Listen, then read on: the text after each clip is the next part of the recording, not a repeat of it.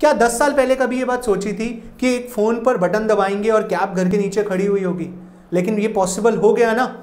आज हम फ़ोन पे बटन दबाते हैं और कैब घर के नीचे होती है? और इतना ही ईजी हो गया पिछले 10 साल में, कहीं एक जगह से दूसरी जगह जाना। ऐसे ही आने वाले डेकेड में कोई चेंज आ सकता है। तो एक बहुत बड़ा चेंज जो शायद आने वाला है, वो है कि फ्यूल बेस्ड कार रिप्लेस होने वाली हैं इलेक्ट्रिक व्हीकल कार से। और जब ये कार्स रिप्लेस होंगी तो आप सोचो कि इलेक्ट्रिक व्हीकल बनाने वाली जो मैन्युफैक्चरिंग कंपनीज़ होंगी, या इसके ऊपर बेस्ड होकर जो कंपनीज़ काम करती हैं, वो कंपनीज़ कितना ग्रो करेगी। और अगर आज हम थोड़ा सा एनालिसिस करके उन कंपनीज़ में इन्वेस्ट कर दें तो जैसे जैसे वो कंपनीज़ ग्रो करेंगी हम भी ग्रो करेंगे। तो दोस्तों, आज हमने डिस्कस करने हैं कुछ ऐसे स्टॉक्स जो इलेक्ट्रिक व्हीकल के ऊपर बेस्ड हैं। पर पहले ये देखते हैं कि मैं आपको क्यों कह रहा हूँ कि आने वाले 10 साल में इलेक्ट्रिक व्हीकल्स का जो मार्केट है वो बहुत बड़ी होने वाली है। तो चलो दोस्तों, शुरू करते हैं आज के वीडियो को।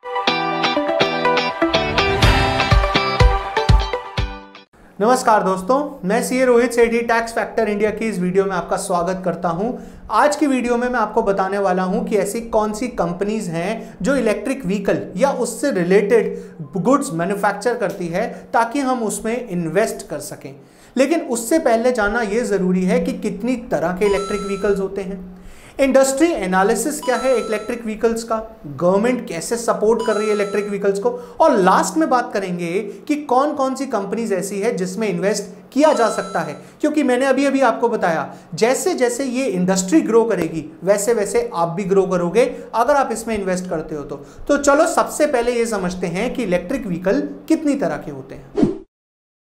इलेक्ट्रिक व्हीकल बेसिकली दो तरीके के ही होते हैं। एक फुली इलेक्ट्रिक फुली इलेक्ट्रिक का मतलब यह है कि इसमें सिर्फ़ और सिर्फ़ बैटरी से ही चलेगी और किसी से नहीं चलेगी गाड़ी। लेकिन दूसरे हैं हाइब्रिड। हाइब्रिड बिल्कुल वैसे ही है जैसे आजकल गाड़ियाँ चलती हैं पेट्रोल कम सीएनजी यानी कि अगर सीएनजी खत्म हो जाए तो पेट्रोल पर गाड़ी चल सकती है। सिमिलरली हाइब्रिड जो है वो ये होती है कि अगर आपकी चार्जिंग जो बैटरी चार्ज है वो फिनिश हो जाती है तो गाड़ी स्विच कर जाएगी पेट्रोल के ऊपर। तो ये भी काम चल रहा है मतलब ये भी हाइब्रिड भी आ, लूप में है जल्दी ही मार्केट में आ जाएगा लेकिन फुली इलेक्ट्रिक गाड़ियाँ इस टाइम पे मार्केट में आ चुकी हैं। अब हम देखते हैं कि इंडस्ट्री एनालिसिस क्या कहता है इलेक्ट्रिक व्हीकल का। अगर मैं बात करूँ इंडस्ट्री एनालिसिस की तो सबसे पहले जानना यह ज़रूरी है कि इंडिया की जीडीपी के अंदर ऑटो सेक्टर का round about seven to eight percent का शेयर है। यानी कि seven to eight percent contribution सिर्फ़ ऑटो सेक्टर से ही आता है। और तो और इंडिया की जो मार्केट है, वो fourth largest auto market in the world है, जो हो सकता है जल्दी थर्ड नंबर पर भी आ जाए। अब जब फ्यूल बेस से चेंज होकर इलेक्ट्रिक बेस पे, इलेक्ट्रिक व्हीकल बेस पे आने की कोशिश करी तो 35 परसेंट बायर्स जो हैं, वो ये बात बोलते हैं कि हम एक लाख से ज़्यादा प्रीमियम देने को भी तैयार हैं। यानी कि अगर आज एक गाड़ी 10 लाख रुपए की मिलती है जो फ्यूल बेस्ड है तो वो इलेक्ट्रिक व्हीकल के लिए 11 लाख रुपए तक भी देने को तैयार है। कोई दिक्कत नहीं है। क्योंकि उनको एक चीज़ दिख रही है क्या? कि फ्यूल जो आज की डेट में 100, 101, 105 तक पहुँच रहा है वो यहाँ पर इलेक्ट्रिक व्हीकल की बात करी जाए तो उसमें कॉस्ट रिडक्शन बहुत ज़्यादा है।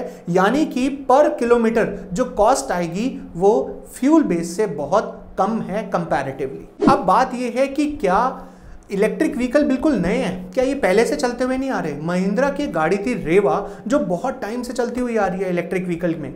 लेकिन अब जो एस्टिमेशन लगाया जा रहा है कि इलेक्ट्रिक व्हीकल की जो कंट्रीब्यूशन मार्केट वैल्यू होगी, वो फिफ्टी थाउज़ेंड करोड़ के आसपास की होगी।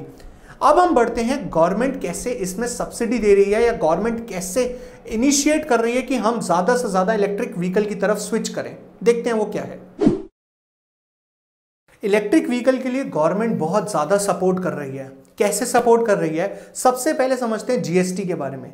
जीएसटी रेट जो नॉर्मल फ्यूल बेस्ड कार के ऊपर था, वो था 12 परसेंट यानी कि अगर आप 10 लाख की गाड़ी लेने जाते थे तो एक लाख बीस हज़ार रुपए का जीएसटी देना पड़ता था। मतलब ग्यारह लाख बीस हज़ार की गाड़ी पड़ती थी। यही अगर हम इलेक्ट्रिक व्हीकल की बात करें तो बारह परसेंट से स्लैश करके सीधा कितना कर दिया? पाँच परसेंट यानी कि दस लाख की गाड़ी पर अब लगेंगे सिर्फ़ पचास हज़ार। तो यहाँ पर गवर्नमेंट ने हमारे को थोड़ा सा रिलैक्सेशन दे दी जीएसटी रेट में। इसके बाद गवर्नमेंट ने यह कहा कि भाई, अब गाड़ी थोड़ी सी महँगी है फ्यूल बेस्ड गाड़ी थोड़ी सस्ती थी इलेक्ट्रिक व्हीकल गाड़ी थोड़ी महँगी है तो हो सकता है लोन लेना पड़े। तो लोन के ऊपर भी उन्होंने ये बात बोली कि अगर आप लोन लेते हो तो इनकम टैक्स के अंदर interest on electric vehicle loan आपको रिबेट मिलेगी वन लाख फिफ्टी थाउज़ेंड तक की। कौन से सेक्शन में? अंडर सेक्शन एट्टी बी में। लेकिन ये रिबेट आपको तब तक मिलेगी जब आप गाड़ी 31 मार्च 2023 से पहले ले लो। अभी तो टाइम है, कोई दिक्कत वाली बात नहीं है। इसके अलावा मिनिस्ट्री ऑफ़ डिफेंस पूरी की पूरी तरीके से इलेक्ट्रिक व्हीकल पर ऑलरेडी आ चुके हैं। और तो और एफडीआई को भी 100 परसेंट अप्रूवल दे दिया है कि वो डायरेक्ट इन्वेस्ट कर सकते हैं। और स्टेट गवर्नमेंट्स भी बहुत हेल्प कर रही हैं। अभी रिसेंटली दिल्ली गवर्नमेंट ने भी सब्सिडी दी थी कुछ अमाउंट की कि अगर आप इलेक्ट्रिक व्हीकल कार परचेज करते हो तो आपको सब्सिडी मिलेगी गवर्नमेंट से। अब हम देखते हैं कि कौन कौन सी कंपनीज़ ऐसी हैं जिसमें इन्वेस्ट किया जा सकता है इलेक्ट्रिक व्हीकल की। चलिए मूव करते हैं इस वीडियो के सबसे इंपॉर्टेंट पार्ट पे। यानी कि वो कंपनीज़ के नाम बताता हूँ जो इस इलेक्ट्रिक व्हीकल को मैन्युफैक्चर करेगी या और, या फिर इससे रिलेटेड कंपनीज़ जो इसको सर्विस प्रोवाइड करेंगी या फिर जो इसके पार्ट्स को मैन्युफैक्चर करेगी। देखते हैं सबसे इंपॉर्टेंट पार्ट कौन सा। सबसे इंपॉर्टेंट पार्ट है इस गाड़ी का बैटरी यानी कि एक इलेक्ट्रिक व्हीकल है, ये चलनी ही बैटरी से है तो बैटरी इसका सबसे इंपॉर्टेंट पार्ट है। और इस टाइम बैटरी की मार्केट लीडर्स हैं अमर राजा बैटरीज और एक्साइड इंडस्ट्रीज़ लिमिटेड दूसरा इसके लिए सबसे इंपॉर्टेंट है ऑटो पार्ट्स अगर हम ऑटो पार्ट्स की बात करें तो ऑटो पार्ट्स के लिए सबसे बढ़िया कंपनीज़ कौन सी हैं इस टाइम पे जो लीडर्स हैं? That is Endurance technologies Motherson Sumi systems and Sundaram fasteners limited right इसके बाद जो सबसे इंपॉर्टेंट है, वो ये है कि इस गाड़ी को चार्ज करने के लिए हमें पावर की ज़रूरत पड़ेगी। अब पावर जनरेशन की भी ज़रूरत पड़ेगी और पावर ट्रांसमिशन की भी ज़रूरत पड़ेगी। पावर जनरेशन यानी कि पावर ग्रिड और पावर ट्रांसमिशन यानी कि टाटा पावर अब एक तो हो गया कि आप गाड़ी घर पे चार्ज करोगे। पर घर पे चार्ज करने के बाद कहीं आप घूमने निकले हो तो हो सकता है रास्ते में भी आपको फास्ट चार्जिंग या चार्ज करवानी पड़े। तो वहाँ पर कब हेल्प होगी? जैसे गाड़ी के अंदर पेट्रोल भरवाना होता है फ्यूल बेस्ड गाड़ी में, वैसे ही इलेक्ट्रिक व्हीकल को रास्ते में अगर चार्ज करना पड़े तो इंडियन ऑयल कंपनीज़ क्योंकि वो लोग धीरे धीरे अपने वहाँ पर चार्जिंग स्टेशन सेटअप कर रहे हैं जहाँ जहाँ उनके पेट्रोल पंप्स हैं। राइट अब इतनी बड़ी गाड़ियों को मैन्युफैक्चर करना है तो इंडस्ट्री भी तो सेटअप करनी है। इंडस्ट्रियल मशीनरी की या फिर इंडस्ट्रियल हेल्प की बात करी जाए तो वो प्रोवाइड करती है ग्रीव्स कॉटन लिमिटेड। अब ग्रीव कॉटन लिमिटेड जो है, वो बैटरी जो बैटरी ऑपरेटेड रिक्शाज होते हैं, वो भी उसमें डील करते हैं तो वो भी आने वाले टाइम में बहुत बढ़ने वाले हैं।